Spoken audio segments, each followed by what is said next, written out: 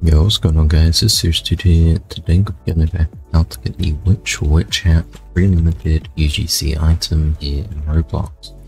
So to get this free limited, you have to go ahead and join this Roblox game called Chest Hero Simulator. So once you're here in game, I have the game link down in the description below. Go to the top right of your screen and click on this free UGC button. And then once you're on here, you'll see the Which Witch Hat, which costs 250 UGC coins. As you can see here, uh, a total of 1,500 UGC coins could be stored at once. Um, you get 100 UGC coins per day from opening chests. Get 25 from obtaining daily rewards.